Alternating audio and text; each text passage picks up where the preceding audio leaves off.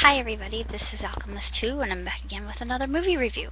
Recently I just watched The Other Side of Heaven, which is about a young Mormon minister named John Groberg, and he was only 19 when he was sent to to Tonga and um, really quite uh, an interesting coming of coming of age story, um, and it talks about faith, and it's really a beautiful film.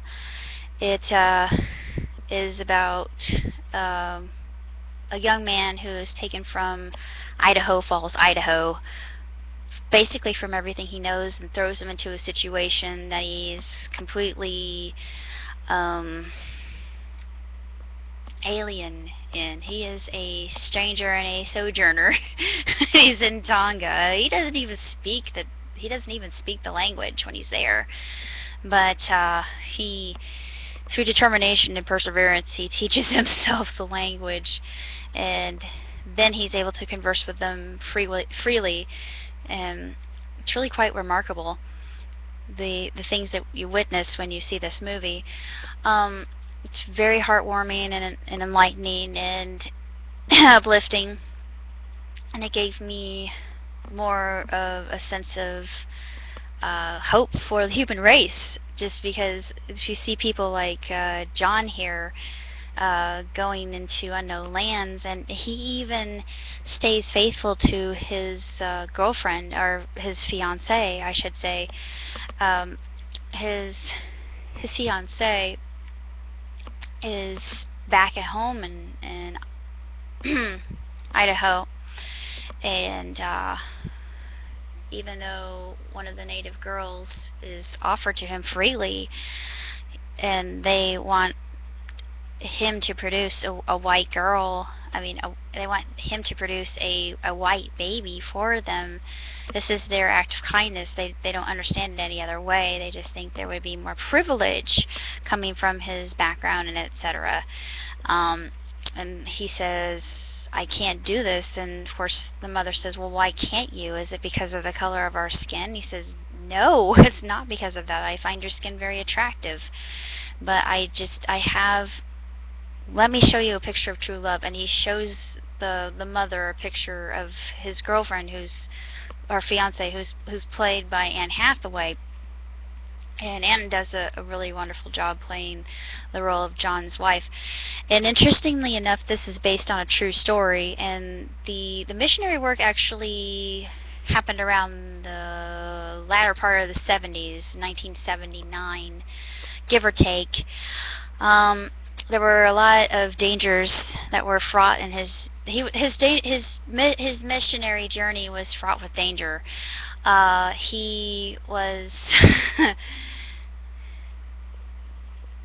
it was never a time that there wasn't any danger and of course there was another priest involved that said oh we don't appreciate your doctrine here blah blah blah blah blah and they um they were more focused on the traditional ways and they were very fundamentalistic and closed-minded and he um, he turns the situation around for his benefit and, and for the benefit of others and it just shows how John grows as a person, how he becomes uh,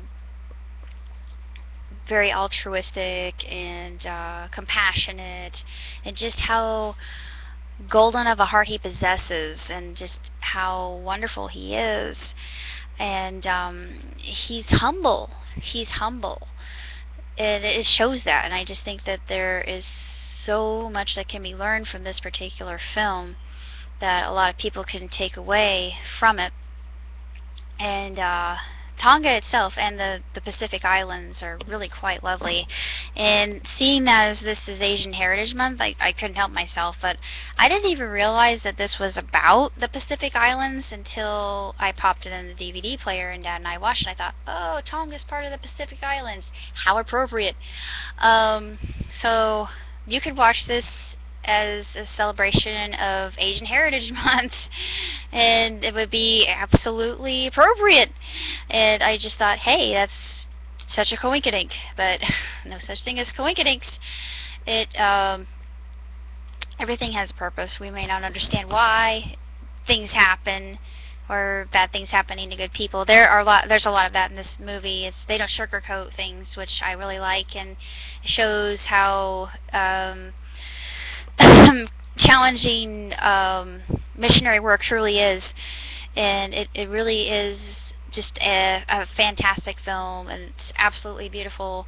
And uh, I'm not sure when it was made because I looked at the the back of the dust jacket and it doesn't really tell me much of anything. It just tells me about um, what the movie's about, and I really don't want to share that with you right now because, like I said, it, it's going to give away a lot of spoilers. I don't want to do that. If you're going to watch it, I highly recommend you do.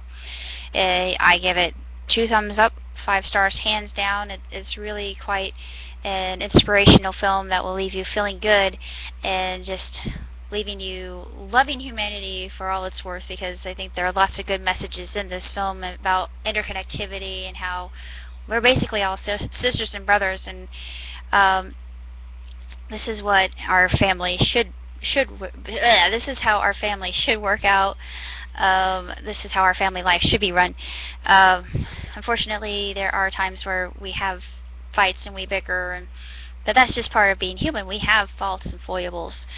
So it's um that's what is part of being mortal, I think.